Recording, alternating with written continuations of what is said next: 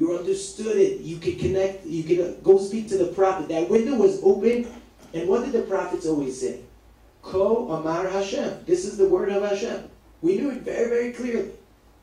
But when that window was open, you could tap into that power and bring down sort of Kohos Atuma. That was the Nevi'e Sheker.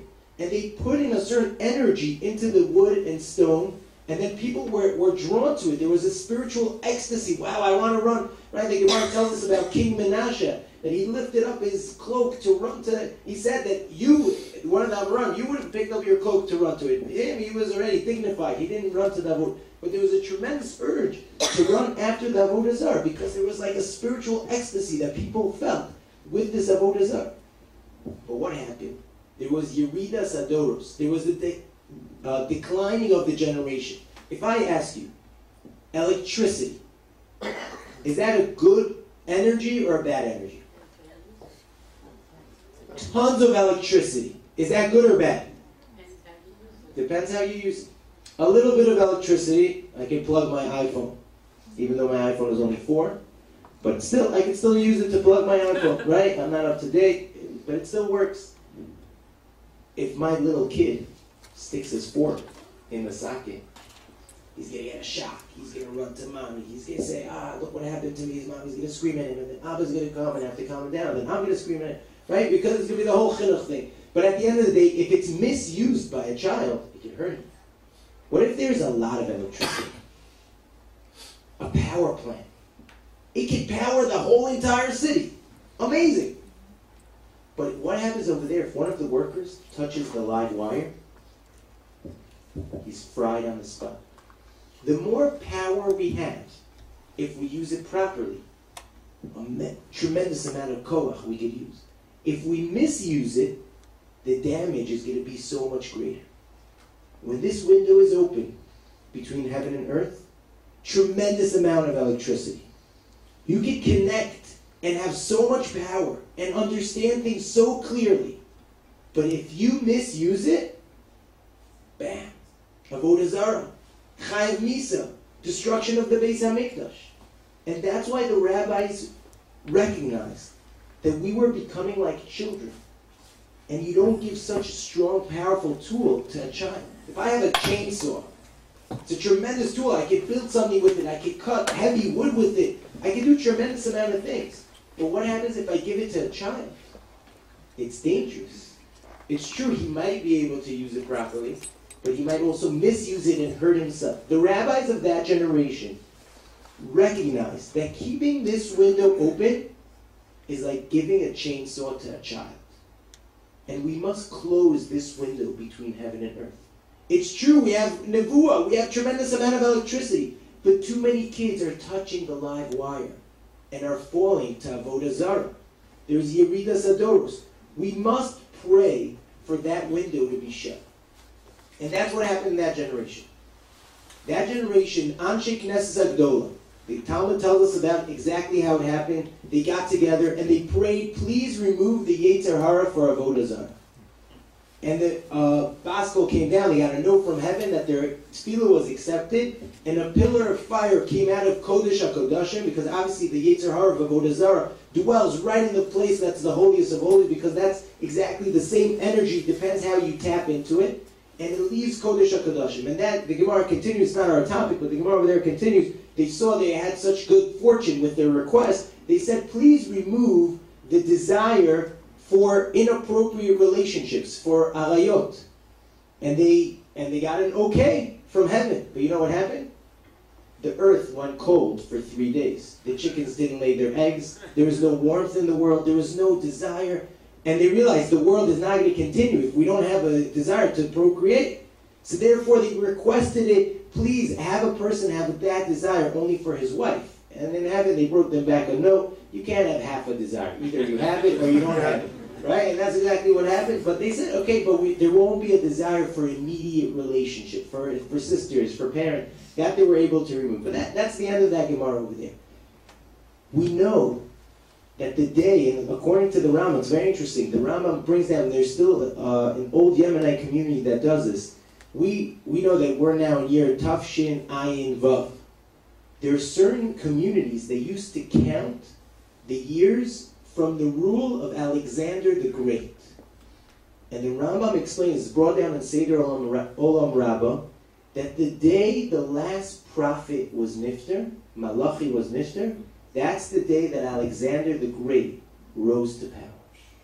Meaning, the day that we lost this prophecy, that we no longer have this window, that now there is something lacking about Shavuot. We do not have a clear relationship to Mount Sinai anymore because we don't have a prophet like we had for throughout so many years, throughout so many centuries. So we're missing something on Shavuot. We don't have that prophecy anymore.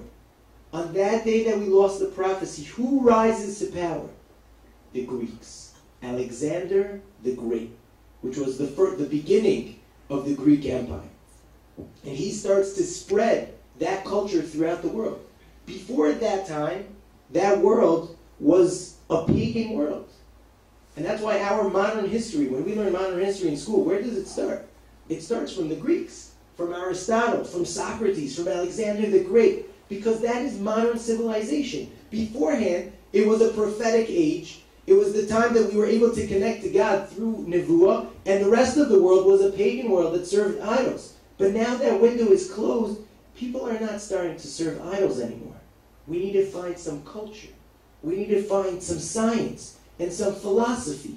It's a whole new world that is spreading onto world history and also onto Jewish history. Because now, for the first time, we don't have Nevuah anymore, but rather, what do we have? We have the Chachamim. If you look at the Mishnayos and Pirkei Avos, the first Mishnah is Anshe Knesses Agdol. What's the second Mishnah? Shimon Hatzadik. Hayom Mishayari Knesses Agdol. Shimon HaTzadik was from the remnant of Anshe Knesset meaning he sat there in the men of the Great Assembly, 120 men. He saw prophets with his own eyes. He himself was not a prophet, but he was a man de Amar. For the first time in Jewish history, we have somebody saying, Ashita, Shimon HaTzadik Haya Omer. He used to say something. How come we never have Yirmiyahu Hanavi Omer, David HaMelech Omer, Shlomo HaMelech Omer? Because they never said their own pshat. What did they say? They said, Ko Amar Hashem. This is what Hashem said. This is the wisdom of Hashem. Because we had the nevuah, the connection back to Sinai. But now for the first time, we don't have it. We have a Manda Amar, we have the Chacham, we have the wisdom of the Greeks versus the wisdom of the rabbis. We have that equilibrium continues for us to choose.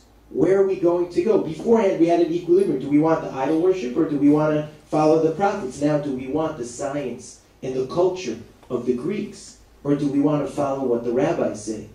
Shimon HaTzadik. It's very interesting. Shimon HaTzadik, which is the first Tana in Pirkei Avos. So we know that the Talmud tells us the story how he met Alexander the Great. You see that it's mamish in the same time period. Alexander was coming and taking, conquering over the whole world. He was going to come and overtake Yerushalayim and destroy it. And so Shimon HaTzadik puts on his, his big, big Kohen Gadol. He walks out towards him with two rabbis on either side with torches. They're walking all night. And when Alexander the Great finally meets him, so it says that he got off, off his horse and he went down and bowed down to him. Why bow down to this filthy Jew? Said his messenger. Said the guy next to him. So he says, you don't understand. When I go to battle, I see Shimon HaTzadik. I see his image in my dreams. I know I'm going to win. There's a connection right over there. The next Mishnah in Pirkei is Antignos, Ish Silko. Antignos, that's a Greek name. There's already the Greek influence on the Jewish people because Shimon HaTzadik was able to convince Alexander the Great, don't conquer Yerushalayim. You could stay here, but don't don't conquer us. And Alexander respected the Jews. There's wisdom over here. There's there's uh, intelligence. Look at their rabbis. This is something that this is a culture that I value. Antignos Ishoka, he's already influ- he's got the Greek name. And now that the Torah is no longer Ko Amar Hashem, it's up to the interpretation and the explanation of the rabbis. We, for the first time, have different sects within Judaism. Because who were the two students of Antignos Isoko? Tzadok and Baitos.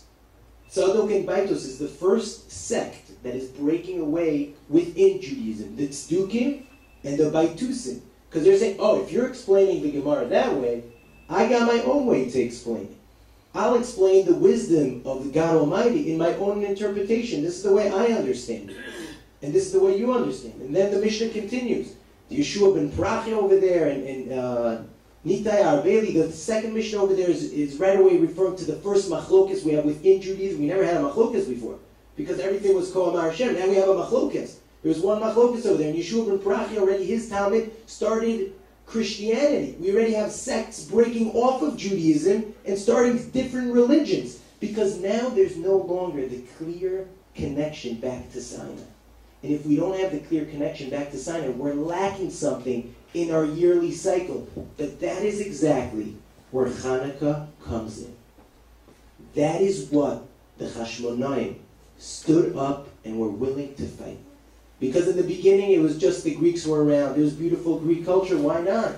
They're wise. We're wise. We value their culture. It's great. Let's all get along. It's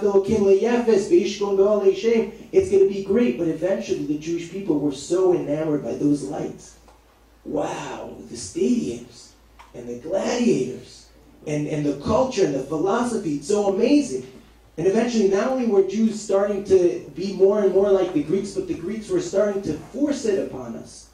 You can't keep Shabbos anymore. You can't have a bris milah. You can't have a Rosh Chodesh. They're starting to deny. what are they picking these these specific mitzvahs? What do they care about? Because they were bothered by something. There's something that is different between their culture and our culture. The Greeks worshipped beauty. It was amazing for them. Wow, the physical body. It has to be perfect. The philosophy, the understanding. They were, they were, they loved it. They loved that culture, and they saw the Jewish people also loved it. But there's something that bothered them about the Jewish people, because we saw the beauty in holiness, while they saw holiness in beauty. That was the difference. If you take the letters Yava, Yud, Vav, Nun Sofit, beautiful letters, very symmetric, three straight lines. It looks a little bit like our cell phones. Maybe that's a hint about our cell phones, right? Do I have enough energy? Am I fully yavam? Right? If You think about it like that. If you turn it around, okay. So we got the yud. I just thought about that right now. We got the yud, the vav, and the and the nun. Really beautiful letters, really symmetrical. But it's the only letters in the Jewish alphabet that don't have a penimiyus. There's no inside to them. They're just they're very straight. And aleph it's got, it's got some meat to it. It's got thickness to it. Yud Vav Nun is very, very, very flat. Very, it looks beautiful, but it's only beautiful on the outside. There's one letter in the Hebrew alphabet that represents righteousness. A tzaddik. Which letter is that? A tzaddik. Right? The name of the letter it represents that, that element. A tzaddik is like a tzaddik. If you take the letter tzaddik and you put it in front of the word Yud Vav Nun, what does it spell out? Seal. The Jewish people, we value beauty as well. But what do we put in front of it? The righteousness. That is the beauty of Yerushalayim. Ten measures of beauty came down to the world. Nine took Yerushalayim. Yerushalayim is a beautiful city, but so is Greek. So is Rome. There's a lot of beautiful cities all around the world. But in Yerushalayim, the beauty is because we're able to connect the physical and the spiritual beauty into one.